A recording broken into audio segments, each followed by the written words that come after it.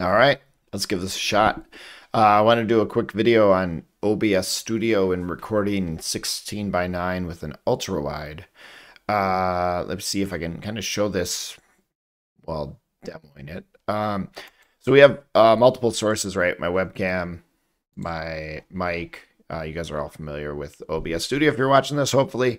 Uh, awesome open source program, like incredible. Uh, one thing I will mention I'm on Arch Linux. Uh, if you're on Linux, just I would say not just Arch, but specifically Arch. I've heard use Flatpak to install OBS. There are way too many dependencies, and you will spend so many so much time trying to get it working. Uh, wasted several hours on that. So anyway, Flatpak OBS, awesome.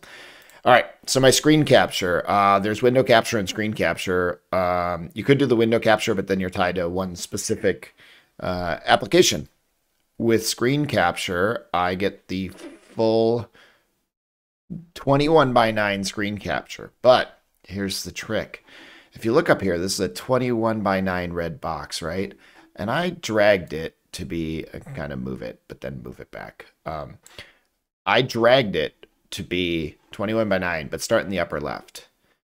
But you see how this is cut off off to the right? This is 5 by 9 over here because I have 16 by 9 recording.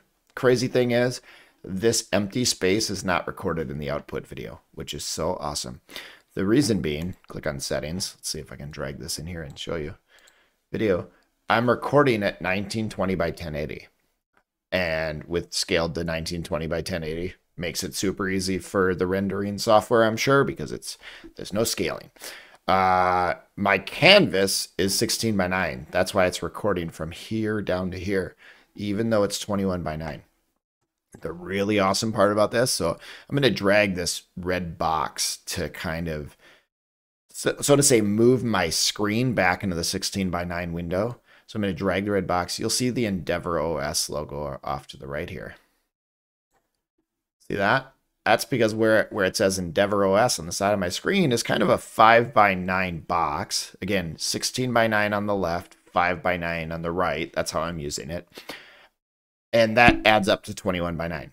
So what's cool about that is I can then take this and I'm going to snap this. You won't be able to see it because I'm moving into that gray area, right? I'm going to snap this off to my right.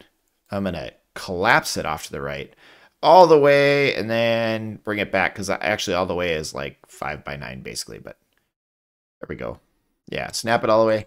Now I'm going to just pull in a, let's see. Now I'm broadcasting six, 16 by 9, right? I can do the Chrome here or Firefox or whatever. I can open a terminal 16 by 9 and broadcasting.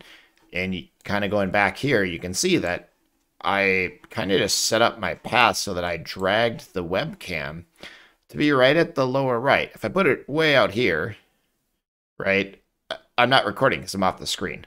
I'm not recording the webcam. I need to be in this canvas. The canvas is 16 by 9. That is literally all there is. Don't do the 21 by 9, scaled down. Don't try it. You're going to end up with black bars. It'll happen every time. Also, I have not had OBS crash once with this, except for when I was playing with video filters while recording OBS on the screen, which obviously probably got somewhat complicated or confused. Uh, in any case, I've had awesome luck. Good luck to you with this. I hope this helps. Take care.